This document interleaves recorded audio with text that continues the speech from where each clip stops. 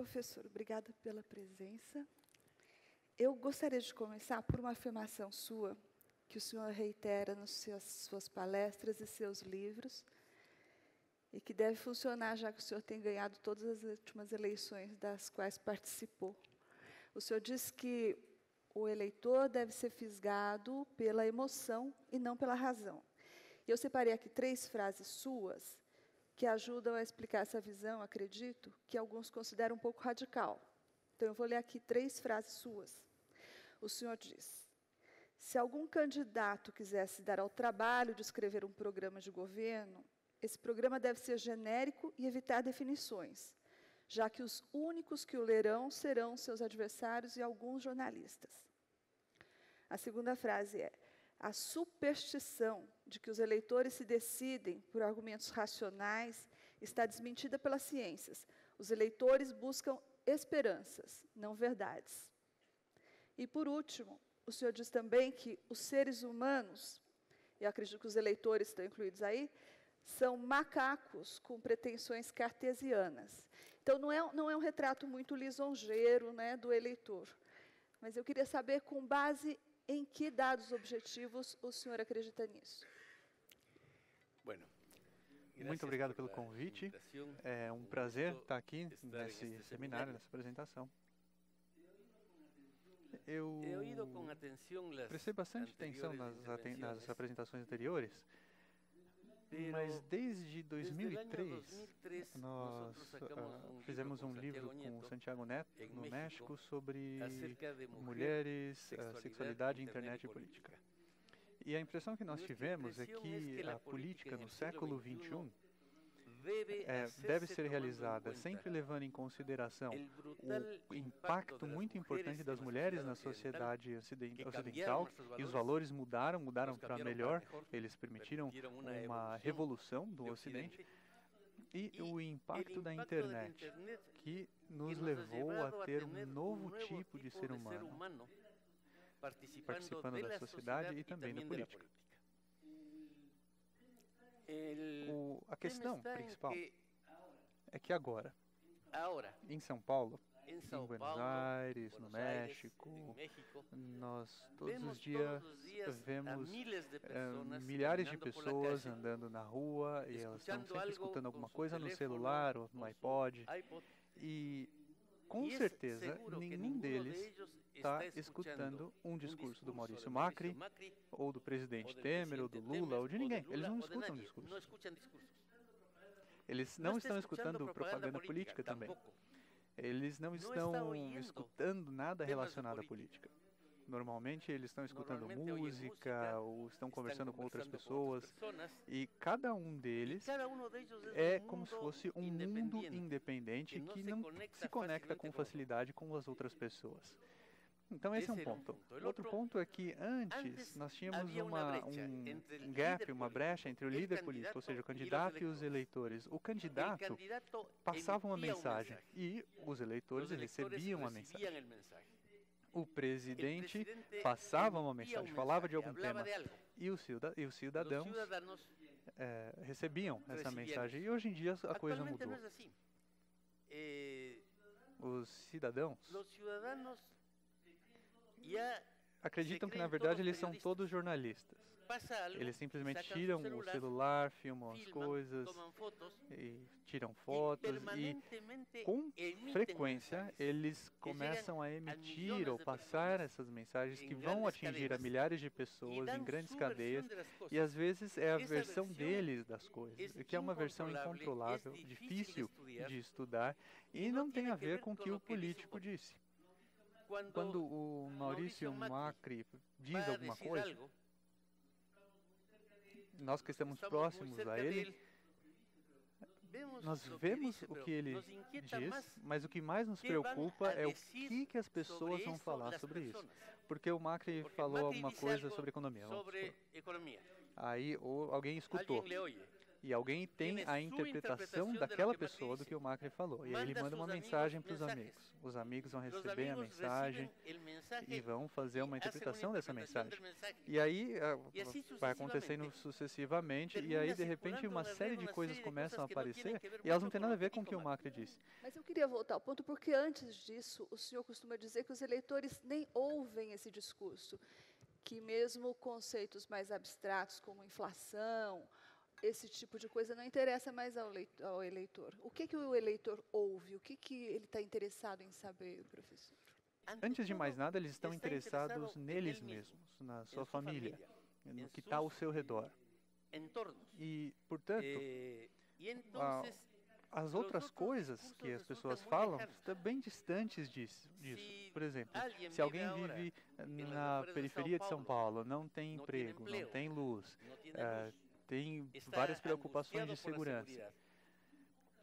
Essa pessoa vai falar o quê? Ah, não importa o que, que um político está falando, porque é só um político, ele não serve, não me importa, não interessa. Por outro lado, é, existem valores da sociedade que mudaram com as mulheres. Então, por exemplo, as mulheres aportaram ou trouxeram muitos valores importantes no Ocidente. Eh, Quando eu era mais jovem, e hoje eu já estou bem velho, mas é, era muito, era uma coisa muito boa, muito bem vista ser caçador, caçar animais, porque os, os ricos é, caçavam ah, leopardos e os pobres passarinhos no parque. E hoje em dia a gente não pode mais matar animais. Já faz uh, mais ou menos cinco anos no México, um candidato teve que sair da, da campanha porque ele tinha foto com veados e coelhos que ele tinha matado durante a caça. E as pessoas ficaram, uh, acharam aquilo absurdo.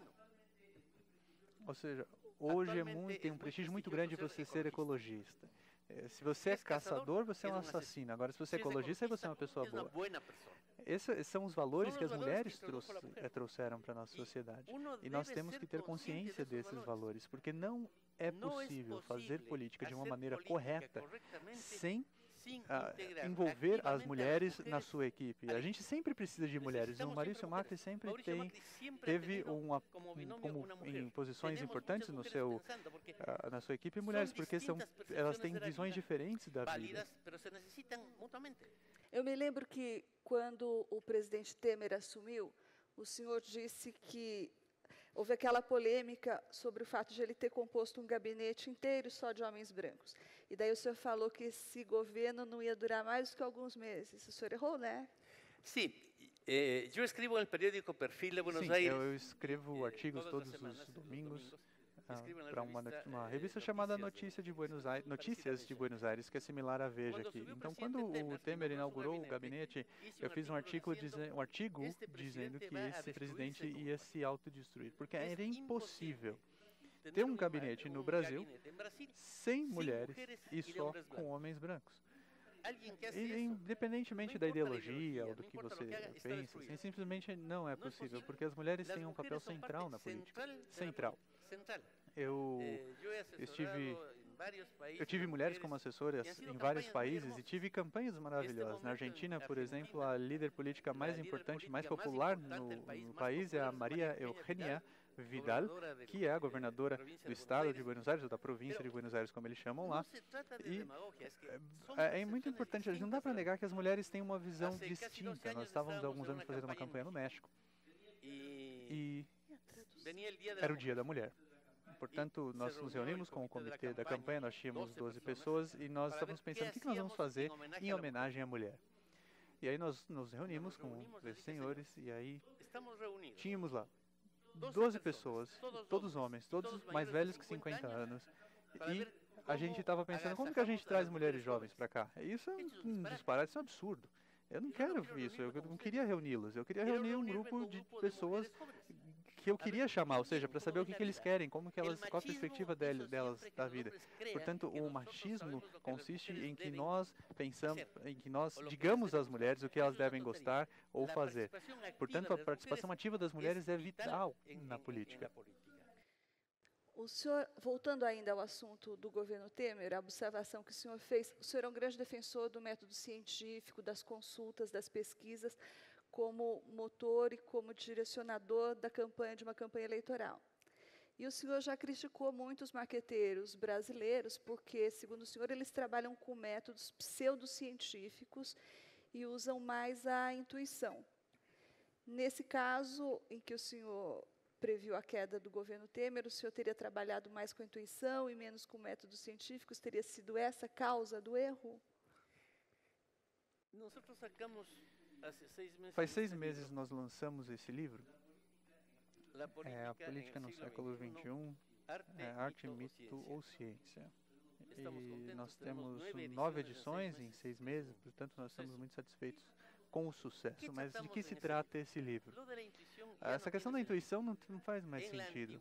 Na verdade, antigamente a gente tinha que ter intuição. Hoje em dia, uma campanha séria é, você tem que fazer pesquisa, você tem que fazer enquetes, você tem que pesquisar os candidatos e eleitores, você tem que ter números e, baseado neles, elaborar uma estratégia para criar uma ferramenta, um recurso absolutamente racional que vai dar para você o seu norte na campanha.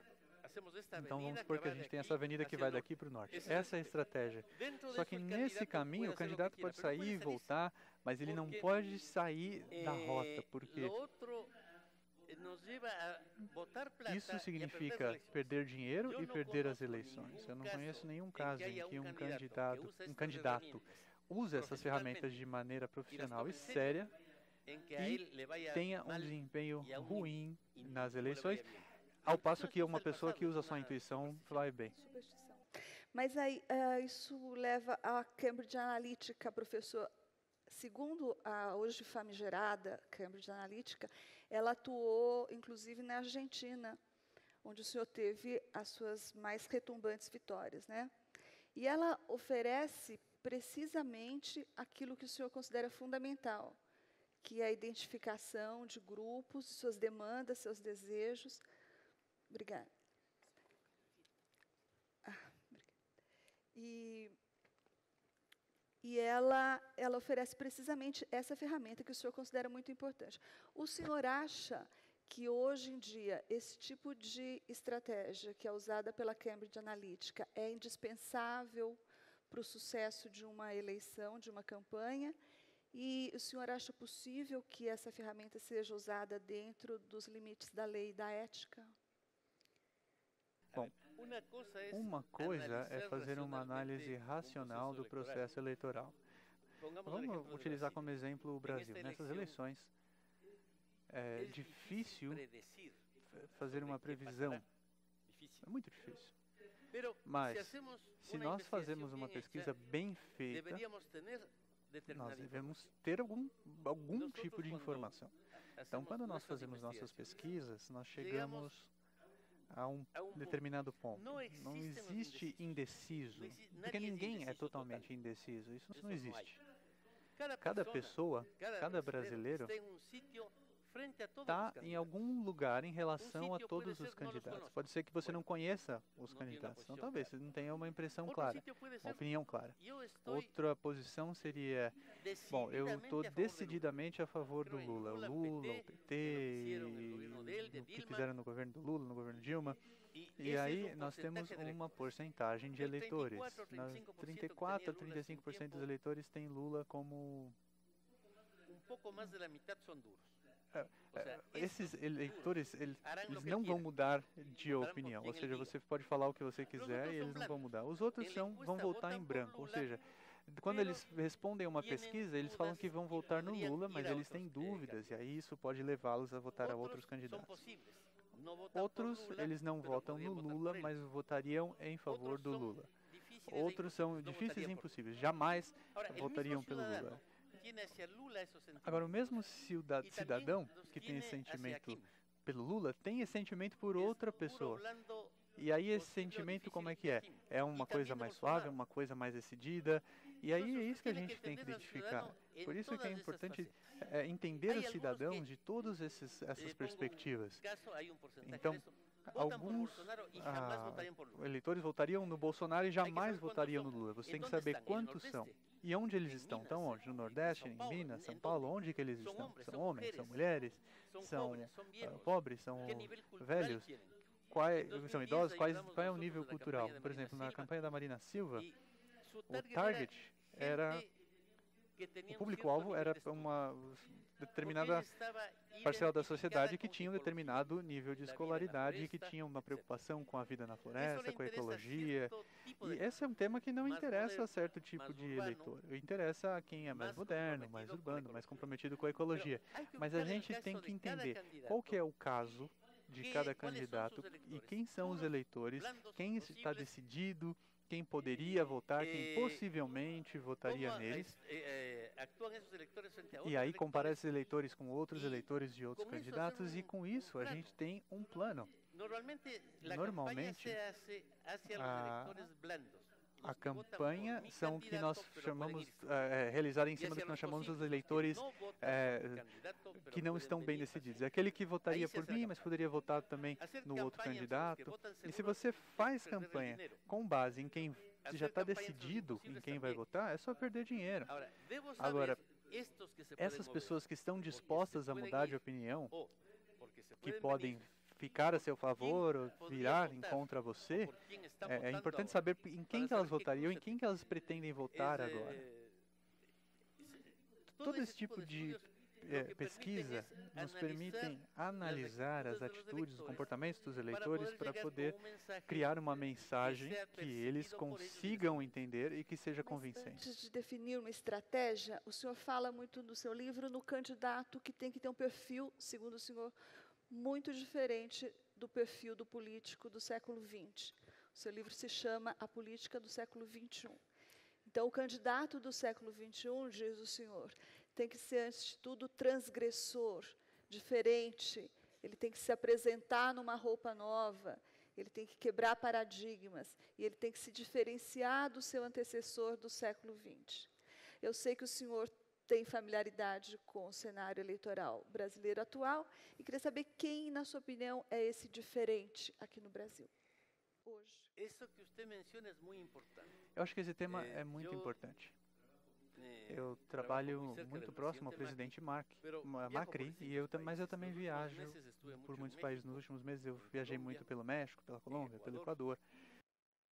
E eu, eu, diria que a Argentina é, um, é uma, um, uma exceção, mas, por exemplo, na América Latina, massivamente os latino-americanos não gostam de nenhum partido, nenhum deles. No México, por exemplo, eh, nós temos partidos mais tradicionais, mais fortes, e durante já um século, eles, esses partidos têm conseguido eleger presidentes. O PRI, por exemplo, nunca teve menos de 50% de base. É. E pelo menos 50% da, da população diria, ah, eu, eu vou, não, não que eu vá votar, mas eu votaria neles. E, eu, e ao mesmo tempo, é, tem pessoas que dizem que 70% das pessoas, tem, tem uma porcentagem é, desculpa, das, das, pessoas que dizem que não votariam no PRI, mas também não votariam no PAN, nem no Moreno, ou seja, eles não gostam de nenhum partido. Na Colômbia, a situação é impressionante porque nós temos a questão do candidato Vargas, que é o, o, o sucessor é, que o presidente Santos quer fazer. E 80% dos colombianos dizem que jamais votariam num candidato que tenha sido ah, indicado pelo presidente. No Paraguai, por exemplo, o que nós tivemos no último domingo com o Marito? Ele tinha uma, uma vantagem muito grande, bem ampla era bem diferente, mas ele tinha o apoio do presidente Cartes e, de repente, isso criou uma queda vertiginosa nos números da pesquisa. Ou seja, em geral, os latino-americanos não gostam do presidente, não gostam dos partidos e, principalmente, aos deputados e senadores. Eles não gostam dos sindicatos. e todas as organizações típicas do que nós chamamos a democracia representativa. E é, é claro que isso é, eu não estou falando que isso não é, é certo, é, é normal. Isso acontece também no Brasil. Então, voltando à minha pergunta, o senhor acha que nesse contexto, quem é que se aproxima mais desse político, dessa política nova do século XXI, então, professor? Essa que inclui nesse essa... momento, nesse momento no Brasil? Exatamente. É muito difícil de, de ver o que passa, porque É muito difícil entender o que acontece, porque primeiro eu teria que fazer uma avaliação da porcentagem de votos decididos que tem o Lula para eh, saber quantos desses votos podem ser uh, transferidos eh, a um candidato parecido. E aí a gente tem que fazer uma análise técnica, não é uma questão de fazer uma pergunta, é uma questão de você fazer várias perguntas. O Bolsonaro tem uma certa porcentagem de votos, mas e muitos desses votos são decididos. Mas nós estudamos os votos que é, ele tem e também o número de pessoas que jamais votariam nele. Nós perguntamos: ah, você acha que você votaria nesse candidato? Com certeza votaria ou pro, provavelmente nunca votaria? E o Bolsonaro tem um alto nível de rejeição devido a algum dos seus posicionamentos em relação às mulheres, minoria, minorias, etc.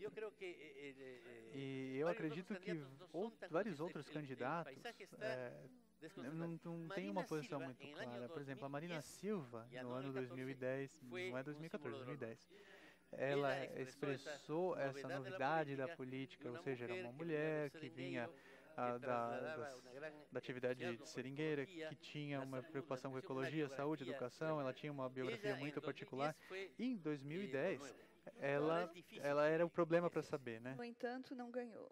Como? No entanto, não ganhou, mesmo expressando essa figura nova da política nova. Não se está expressando, pero se se estudam bem das Bom, coisas, é que se você faz uma pesquisa profunda das coisas, você identifica os elementos que são verdadeiros. Por exemplo, o que na biografia de um candidato é real e verdadeiro e pode fazer com que aquele candidato se apresente como algo novo e verdadeiro. Mas, assim como no México, o, a rejeição dos partidos é muito alta. Sim, então deixa eu modificar um pouco a minha pergunta, professor. É, se o senhor for, Lula provavelmente não será candidato e como o senhor disse, a questão é como e quanto ele irá transferir de votos para a pessoa que for indicada por ele. Se o senhor fosse Lula hoje, que perfil de candidato o senhor escolheria para colocar no seu lugar? O senhor pode desenhar esse candidato, dar algumas características para ele, levando em consideração tudo isso que o senhor disse? Aí Bom, aí nós temos que discutir uma série de elementos. Algumas pessoas acreditam que um candidato bom é, para se tornar um líder tem que ser um líder importante com muita força.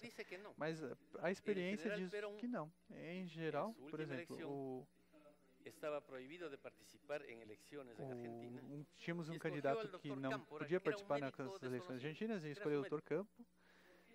E escolheu esse médico porque era um absurdo que o candidato do Partido Peronista é, fosse alguém que tinha uma rivalidade com o candidato principal, ou seja, tinha que ser alguém de uma segunda casa que diz que tudo bem, então eu, eu gosto também do Perón.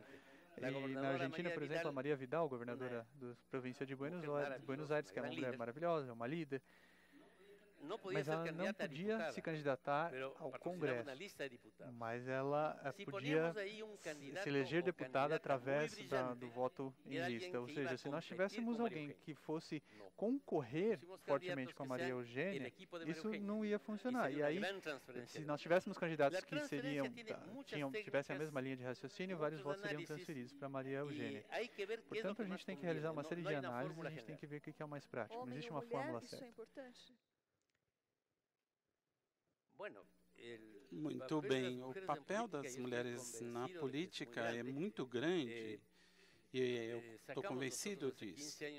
Vamos dizer, nós temos 15 anos do sexo, internet, política, mulheres em política, enfim. Em Buenos Aires temos uma edição falando sobre o papel das mulheres, os valores femininos, como as mulheres podem usar melhor as suas características.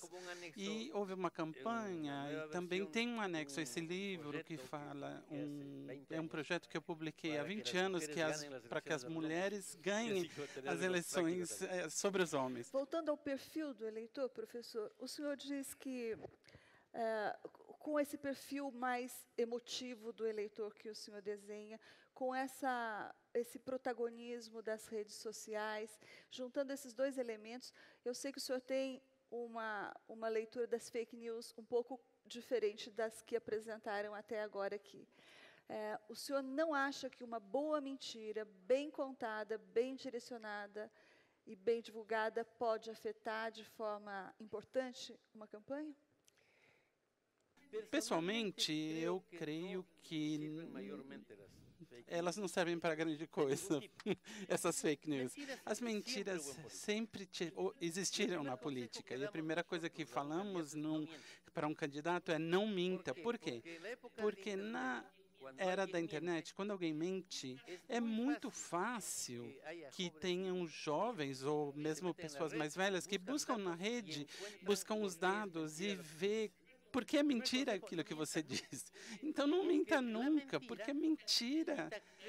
Tira a credibilidade do candidato. E isso é a principal arma, essa é a principal arma de um candidato. Se um candidato não tem credibilidade, a sua campanha não funciona.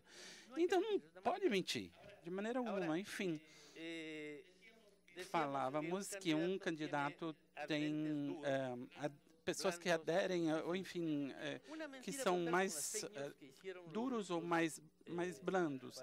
Então, uma das coisas que houve com os russos é que a, a campanha que houve na Rússia não tem nem pé nem cabeça, né? Por exemplo, como foram, como que aconteceram.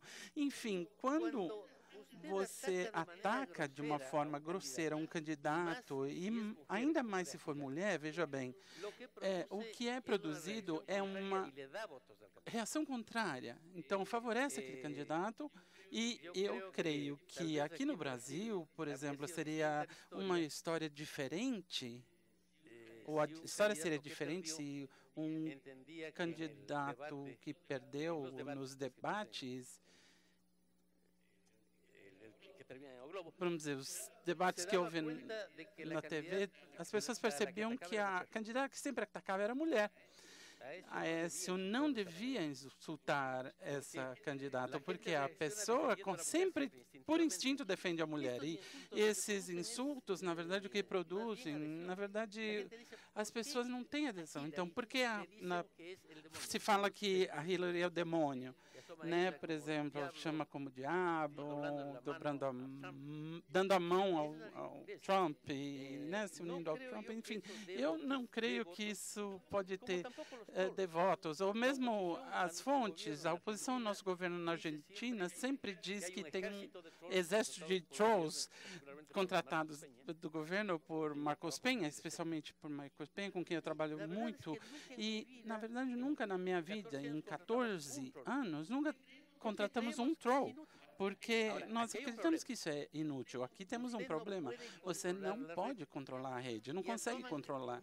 São milhares de trolls, de partidários seus, que não estão seguindo a campanha, mas que decidem atacar o inimigo.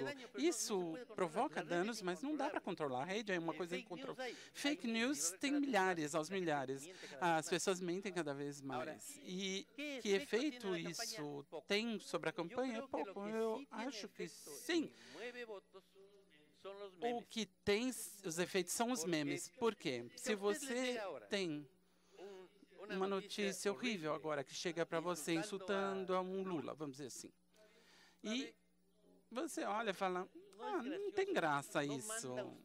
Né? Você não, não transmite isso para os seus amigos, mas se chega alguma coisa que tem graça, que, que tem graça, que é uma coisa divertida, que é simpática, bom, aí você fala, bom, vou distribuir, vou passar para os meus amigos. Então, tem uma pequena rede de comunicação dos ministros, dos principais funcionários de Maurício Macri. Muitas vezes, entre nós, mandamos, enviamos uns aos outros alguma coisa engraçada. Há pelo menos um candidato no Brasil aqui usando exatamente essa tática.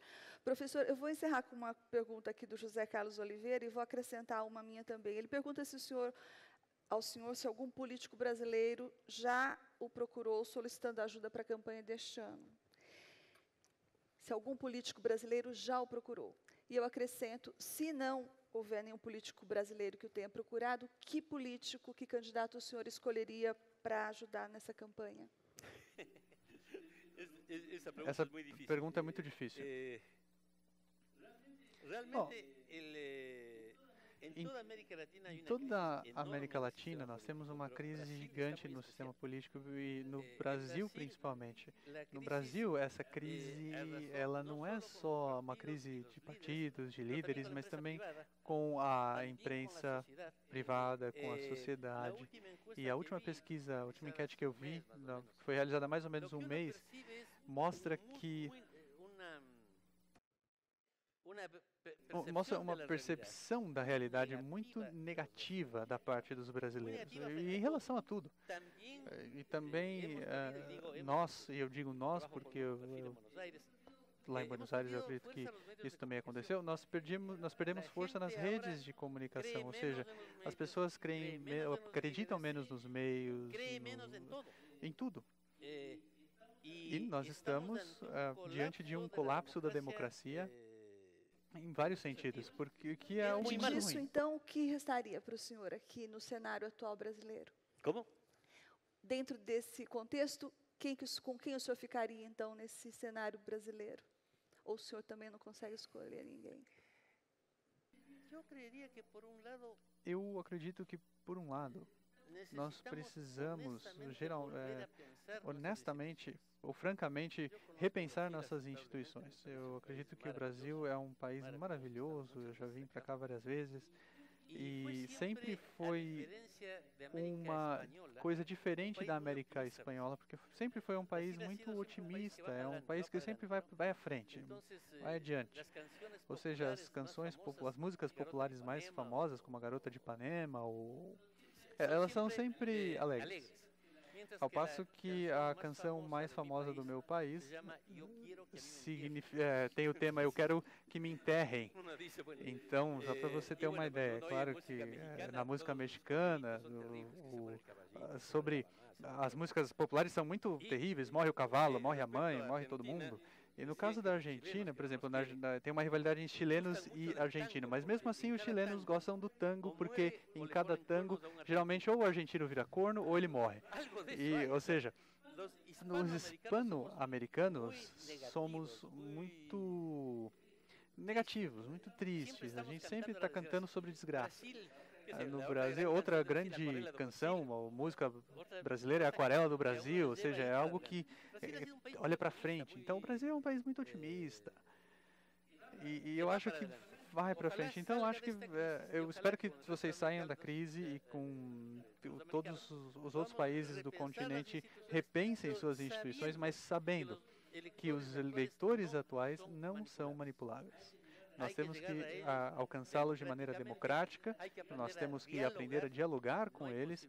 Não existe essa possibilidade de impor um ponto de vista e, enfim, nós temos que é, vivenciar essa sociedade que nós estamos. Eu lembro muito bem da minha infância, com muita alegria. Eu nasci em uma família bem feudal. Meu pai era como se fosse do, Deus, Deus no céu, Pai na terra, e ele sabia de tudo e podia dar sua opinião e foi muito divertido. Mas hoje, por exemplo, eu não tenho uma relação, um relacionamento muito bom com meu neto, que é como se fosse só um colega meu. E quando eu digo algo, geralmente ele se comunica, se comunica diretamente com Deus. É, ele fala, olha, o, o, Deus dele é o telefone. Ele fala, olha, aqui o Google diz que não é assim. Está dizendo que não é do jeito que você falou. E pronto. Quando eu era pequeno, por outro lado, eu tinha essa premissa de que meu pai sempre tinha razão. E eu sempre é, repreendo meu neto. Eu digo, olha, Emi, não faz isso. E ele fala, olha, vô, não me trata assim porque os netos também, as crianças têm direitos, viu? E se eu fizesse isso com meu pai, ele ia, jogar da, ia me jogar da janela direto. Então, assim, isso é uma coisa que mudou. Na sociedade atual, todo mundo tem uma opinião sobre tudo. E se alguém é, escuta o que diz o Fundo Monetário Internacional, ou se você escuta a palavra Fundo Monetário Internacional, você vai lá, entra no Google, lê qualquer besteira e aí você fala como se você fosse um especialista, porque a, a, todo mundo está informado, mas nem todo mundo está formado. Sim, o senhor é um especialista e o senhor não está querendo fazer uma aposta, então. Dentro das eleições brasileiras, o senhor não tem uma aposta a ser feita agora? Não. Não. não. Não, eu estou tentando fazer uma pesquisa nesses últimos dias para entender mais a fundo, porque eu acho que a gente tem que entender algumas coisas aqui. Eh, Os brasileiros, eles perderam a esperança, estão desencantados com quase tudo. Mas nós temos que entender a fundo se eles ainda acreditam na justiça. Não, isso não é uma coisa que ficou muito clara. Se, qual é a profundidade da percepção da necessidade de lutar é, na justiça. Porque se você faz uma pesquisa e você faz a pergunta e você acha que as pessoas acreditam, se você pergunta, você acredita que é necessário lutar contra a corrupção? 99% das pessoas vão dizer que sim. Mas aí, quando você pergunta, você acredita nas instituições que fazem isso? Ah, aí a, coisa muda. A mesma coisa com relação à droga ou maconha. Você fuma maconha e a, geralmente nos países 3 a 4% da população fuma maconha. E aí você pergunta, você conhece alguém, um amigo que fuma maconha? E aí, de repente, mais 60% da população tem algum amigo. E como tem, tem tanto amigo que fuma e você não fuma? Outra pergunta famosa é: você acredita na igualdade racial? E aí 99% das pessoas dizem que sim. E aí se você pergunta: eu gostaria que você gostaria que sua filha se casasse com alguém de outra raça? Ah, aí não é para tanto, né? Então quer dizer, é um, existem perguntas que têm respostas politicamente corretas. Todo mundo vai, vai dizer que quer lutar contra a corrupção, mas existem maneiras de você pesquisar para saber qual que é a real opinião da pessoa. E isso é importante descobrir para saber alguma coisa sobre os candidatos. Professor, infelizmente vamos ter que encerrar. Agradeço muito a sua entrevista. Muitíssimas gracias.